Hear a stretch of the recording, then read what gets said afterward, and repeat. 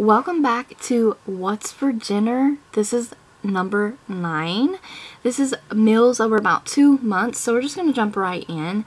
This is shake and bake chicken, green beans, the Jiffy cornbread mix, and mashed potatoes. If you see mashed potatoes throughout the video, they're always real. I never use the instant ones. This is what I would refer to as a big country breakfast. Gravy biscuits, eggs, sausage, and gravy on a tomato. Yum. Taco salad. There's a couple, well, there's a few uh, fast and quick and easy meals. This is tater tots, chili cheese tater tots. So easy, so filling, and so affordable. It seems not likely a dinner idea, but so good and filling. And here is chicken casserole. I have a video on that, so all that stuff will be linked in the description box. Mashed potatoes and roll. Uh, fix with this any side that you want. So good and delicious. And this I just threw in, but I made a chili cheese dip with some tortilla chips. So good. Such an easy snack. Also, video recipe on that as well. Check description box. Buffalo chicken in the crock pot. Yum.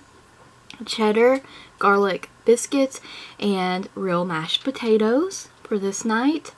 And also there was a couple nights um, like this, hot dogs, chili with crispy crowns. If you've never tried Nathan's skinless beef hot dogs, they're so delicious. Another breakfast. You'll see breakfast throughout the whole video as well. We like to have breakfast and breakfast for dinner is best. It's so yummy. So good. This is a banquet box dinner that you can find like in the aisle with other box dinners. And it's called Country Gravy, Mashed Potatoes and Biscuits, something like that. Very easy to make. It's a one pan dish and it's very hearty and filling for only $3. So if you're on a budget, definitely try some of those banquet box dinners. This is blade steak with rice and a baked potato, but I skinned it and put cheese on top. Um, I like doing that with my baked potatoes. This was so good and simple. It's just seasoned chicken tender, whole potatoes, and green beans. So easy to achieve. It's so yummy. This is also, this is like a fan favorite at my house is barbecue ribs and potato salad. You can't have one without the other. They uh, complement each other so well. Um, I fried up some fish and I had some fries with that. So fish and chips one night that's also delicious. Also, another thing you won't see, I don't fry a lot of food. I bake everything mostly and I will crock pot it. Yes. Uh, one day I fixed some French toast and this is pumpkin pie French toast because I had some pumpkin pie seasoning or spice and it just set it off. It was so delicious. Cube steak and macaroni, another quick kind of dinner meal but it was really tasty. Actually, I love these little cube steaks. And this is a meal that I would consider calling cleaning out the freezer meals. Yes, totally random, but it's buffalo chicken tenders with garlic bread on the side. Yeah, I was literally getting ready to go to on a grocery trip, so I wanted to clean the freezer out of anything that we still really had in there. So I was just pairing things together. More breakfast. So yummy. Scrambled eggs, hash browns, biscuit sausage. Once again, love breakfast for dinner. Mississippi roast is another fan favorite now.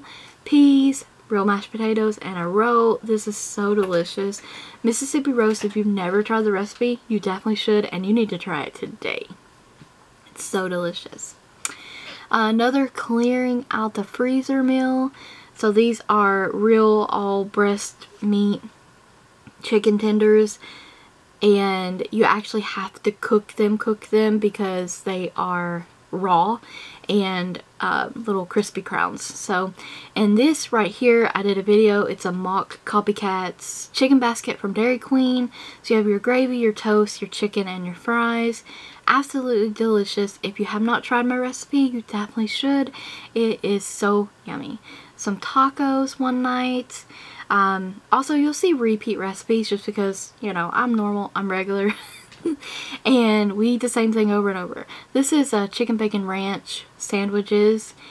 Delicious also. All these recipes will be in the description box below. And once again, breakfast. But this time I fixed pork chop. I just threw the pork chops in the oven, fried some eggs, had a biscuit with it. Delicious. Absolutely delicious. And um, yeah, we, we like repeat meals, as you can see. And this is our Thanksgiving. So um, mashed potatoes, I made deviled eggs, I made my turkey breast in a crock pot, cranberries, there's also peas and rolls and stuffing and gravy. So the works basically. So delicious. I hope you guys had a wonderful Thanksgiving as well. Happy upcoming holidays.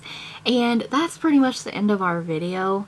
I think that I won't do another one of these until sometime after the beginning of the year, I should say. I want to take a break from photographing all these meals. There are several meals also that we had that I did not photograph.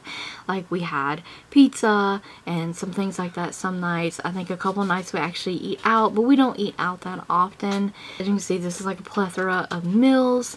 And I do try to switch it up, but for the most part, I'm pretty much the same. So I'm just going to take a little break from the What's for Dinner videos. I hope you enjoyed this one. Stay tuned for more videos like this because there will be more. Thank you so much for watching and don't forget to like the video, comment, subscribe, and ring the bell if you haven't already. And check the description box for In the Kitchen playlist.